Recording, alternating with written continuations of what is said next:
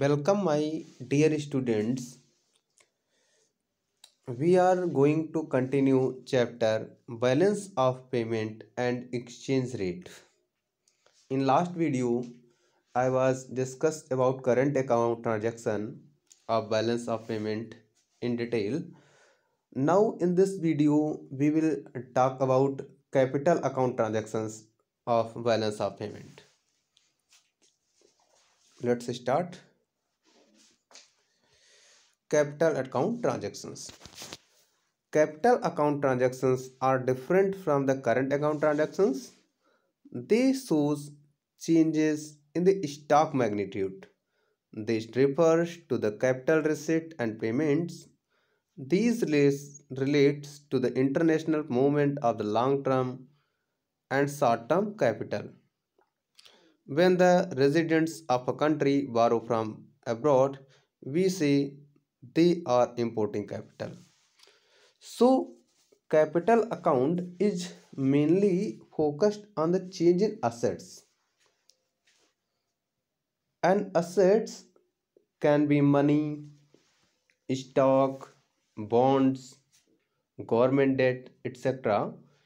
In simple words, capital accounts records all those transactions of receipt and payments of foreign exchange which affects assets and liabilities of a country.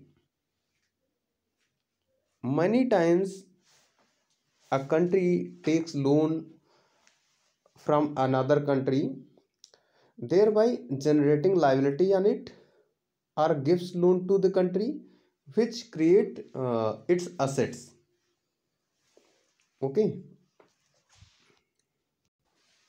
or FDI comes in our country or we go and invest in other country.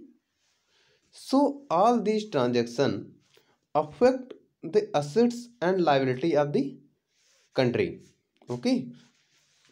All these transactions affect the assets and liability of the country. These capital movements are classified into two categories. Namely direct portfolio investment and direct foreign investments. Okay? Let's understand one by one. First one is direct foreign investment.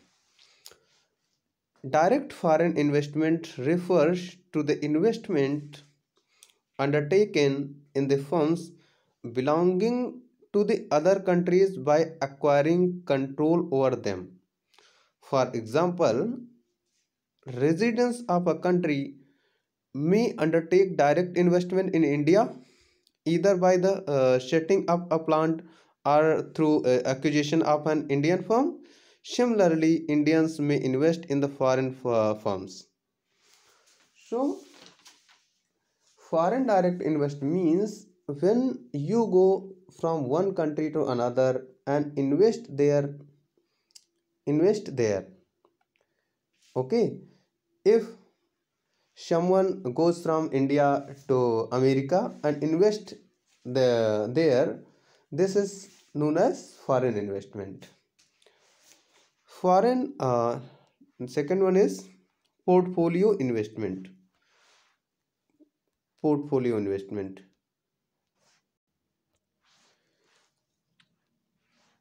Portfolio investment, on the other hand, is the form of investment under which company and residents of a country purchase shares of foreign companies or buy bonds issuing uh, issued uh, by foreign governments. It also includes the purchase of share domestic companies and government bonds by the people other countries. So uh, now we talk about foreign portfolio investments in foreign uh, foreign uh, in uh, portfolio investment suppose an investors come from abroad and bought only shares of the indian companies. They did not purchase plant and machinery. They did not set up any uh, factory. Okay? Here they uh, buy only shares okay? So foreign investor and foreign investor can sell shares and go back to their country whenever they want जब कभी भी वो जाना चाहे, अपने share security cell करके वापस जा सकता है। Okay? This is called foreign portfolio investment okay?